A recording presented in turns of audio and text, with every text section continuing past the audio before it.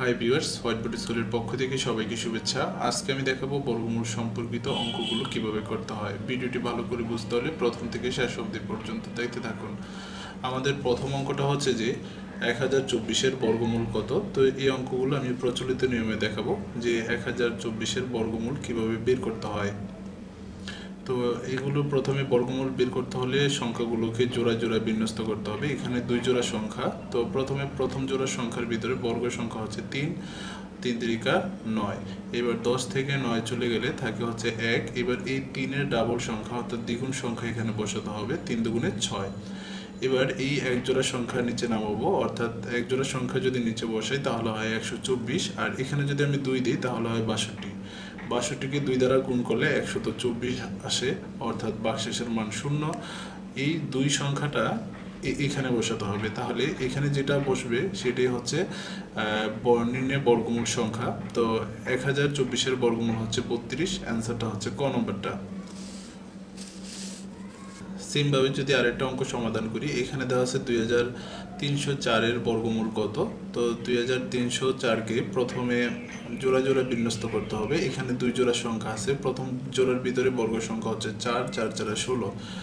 আর যদি পাঁচ দিই, তাহলে পাঁচ, পাঁচা পঁচিশ। বড় হয়ে যায় সেই কারণে চার জোর সংখ্যা ইয়ে বর্গ সংখ্যা হচ্ছে চার। এবার সেখান থেকে তেইশ থেকে ষোলো চলে গেলে থাকে হচ্ছে সাত, আর এক জোড়া সংখ্যা নামালে সাতশত চার। এবার এই চারের দ্বিগুণ সংখ্যা এখানে বসাতে হবে আট। আর এইখানে যেহেতু চার আছে, তাহলে আট আটা চৌষট্টি, অর্থাৎ যদি আমরা এখানে আট বসাই, তাহলে হয় অষ্টআশি অষ্টআশিকে আট দ্বারা গুণ করলে সাতশত চার আসে।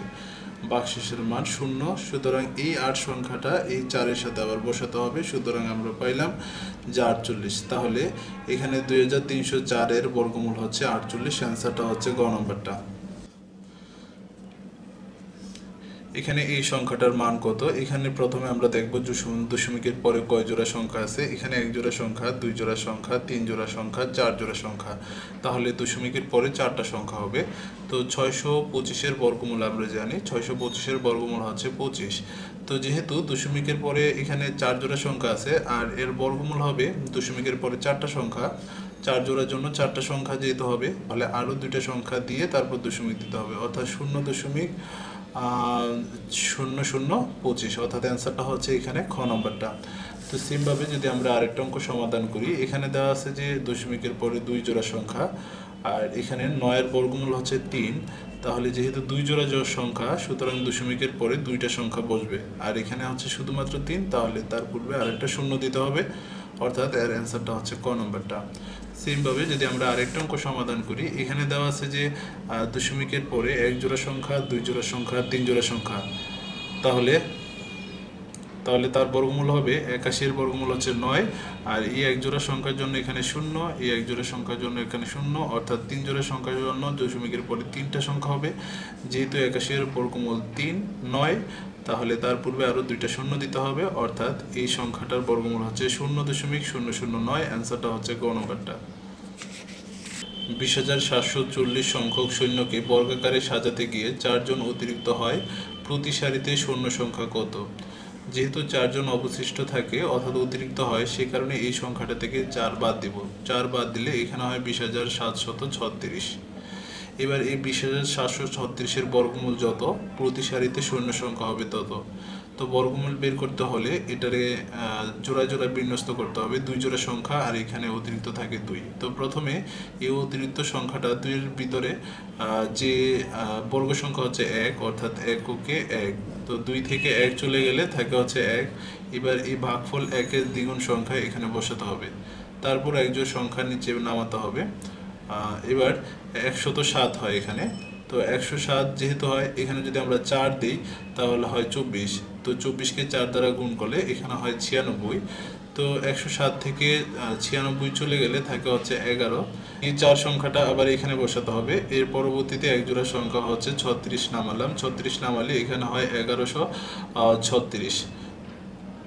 তো এবার এই চোদ্দোর দ্বিগুণ সংখ্যা অর্থাৎ ডাবল সংখ্যা এখানে বসাবো। ডাবল সংখ্যা এখানে বসালে আঠাশ হয়।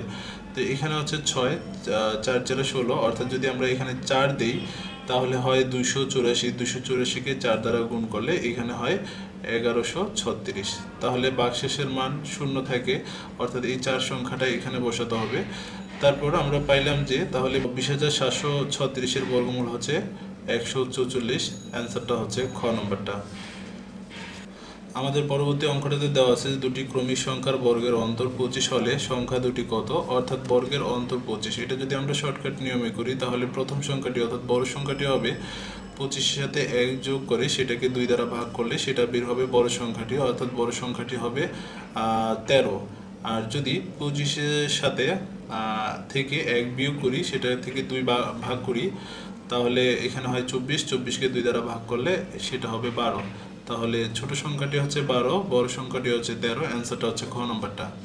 এই অঙ্কটা যদি আমরা প্রচলিত নিয়মে করি, তাহলে যেটা ধরতে হবে যে, ধরে নিলাম প্রথম সংখ্যাটি ক যদি হয়, তাহলে দ্বিতীয় সংখ্যাটি হবে ক যোগ এক, যেহেতু ক্রমিক সংখ্যা। তো এখানে বলছে যে বর্গের অন্তর পঁচিশ, তাহলে ক যোগ এক স্কোয়ার মাইনাস ক স্কোয়ার অর্থাৎ এদের বর্গের পার্থক্য সমান পঁচিশ।